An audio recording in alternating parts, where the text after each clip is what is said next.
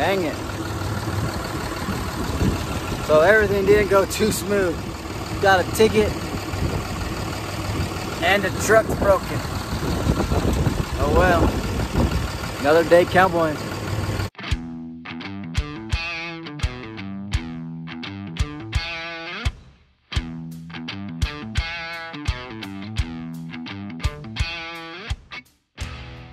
All right, Henson Winn here. We are getting ready to go to get a horse. We're going on a road trip to pick up a horse, me and my dad.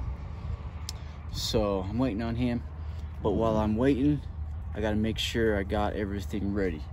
Been on a lot of road trips, hauled a lot of stuff. Hauled a lot of horses, a lot of cattle, bucking bulls, hauled a lot of hay. I even hauled bees from California to Texas one time. So I gotta make sure we got stuff for our trip. I gotta make sure the oil's checked. Gotta check your tires on the truck and trailer. Make sure they're at the right PSI. Gotta make sure you got a spare for your truck and trailer.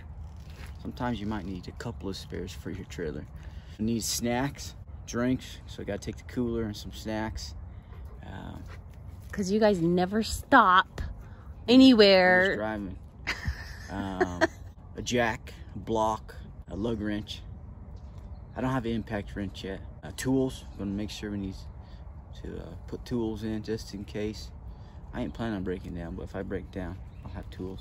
Halter. Uh, that might be about it. So I'll go down and uh, check all that stuff on the checklist. All right, block, check. Halter over there. Em- empty cans of soda just in case. Gas can just in case. Lug wrench. Cooler for our drinks. There's our spare tire for the trailer. Gotta check the PSI. Um, yep, that's good. Tires. They look good, but I'll check them with the um, gauge. Trailer tires. They look good, but I'll check them just with the key. I usually like them at uh, 80 psi. Got a jack right there, some fly spray, bar soap in case we break down. We're out there for days. Um, lug wrench again. That's all checked. Okay, I got some tools right there in that bag. Bench plier just in case. Uh, some mud boots. Another set of tools right here. Just got some glass cleaner under there. Carburetor cleaner. Yep, carburetor cleaner. In case we gotta clean the, the carburetor on our uh, Cummins. Okay, let's check the PSI on the tire. Don't put these in your mouth when you take them off. Dogs piss on them. Just leave them, you know, right there. Alright, let's see. It says 65. Probably could use some air, but we're only hauling one horse, so I think they're right. Truck tires were good. Spare tire was good. I think we're ready to roll. When you're on a road trip, what's like something that you need to check and need? Hey, cool it, dog. Uh, if I'm on a road trip, trip, well, I need to check my tires, make sure I have enough fuel, make sure I have a spare, uh, both truck and trailer.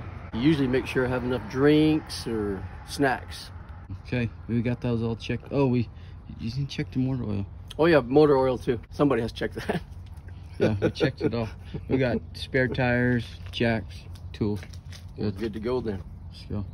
Make sure we have a Dodge. You gotta have a Dodge. We have a Dodge. Unless you're driving a Ford, then you gotta have Ford. Oh yeah, we gotta make sure uh got your ID. It's the only ID you need. 2000, 99 to 2000. Oh yeah, there My you go. school ID. So we're back home from our trip we took to get a horse. Uh, me and my dad. Uh, He already took off to go pump water before it starts to rain. It's supposed to start raining in a little bit. We'll see if it does. Um, it was a good trip. Uh, everything went well. We didn't have no blowouts. We got the horse. Um, yeah, it was smooth, except uh, I got pulled over, and uh, well, anyways, you gotta you gotta remember to check your because we were like saying what, what you need to prepare for and what to check. You gotta check your brake lights and your blinkers. The right side of the truck, the brake, or well, the the brake wasn't working on that side, and the blinker on the right side. And it's not the trailer; it's uh, something in the truck. Must be a fuse. So I gotta have. I'm gonna have to fix that, or my dad, somebody. Um, but yeah, I'll go show you the horse that we got. This horse I rode before. Um, and the only reason we got her is because uh, the lady that I rode her for before and that bought her from from my dad uh, died. Passed away. Okay, so he got the horse because Kathy passed away, the lady that owned her, and also because uh, uh, he bred her. And some of you might remember her. This is Blondie, and I'll, I'll uh, start riding her, tuning her up, and we'll end up selling her for Steven. So yeah, she'll be on the market, Blondie. Um, and you'll see me using her to work. So that's pretty cool. I, I liked riding her. She was good to ride.